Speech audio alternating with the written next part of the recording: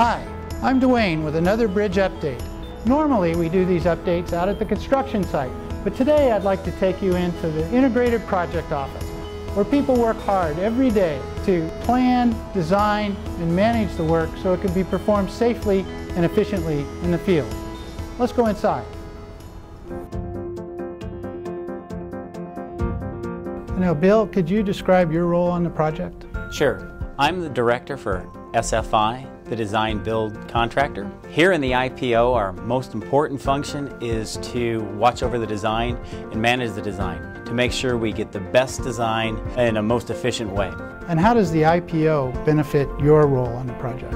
If we have an issue, you don't have to send a text, an email, or a phone call.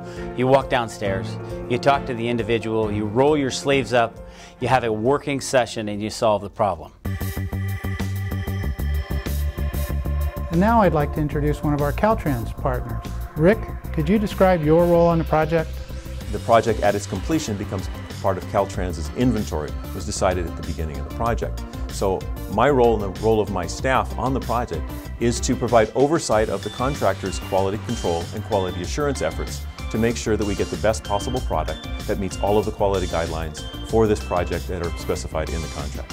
And how does the Integrated Project Office benefit your team?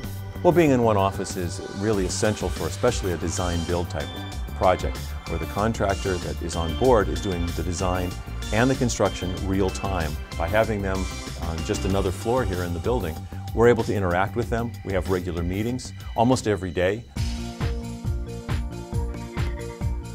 And now we're with Steve, our program manager. Can you describe how you and your team fit into the project? Our role on the project is to be the port's eyes and ears in the field and to ensure that the project is constructed as it was designed, complying with all of the codes and regulations and specifications that go along with a complex bridge structure and to ensure that when we turn the bridge over to the port, they can expect a 100-year service life from the structure. And so you can see there's a lot going on here at the Integrated Project Office.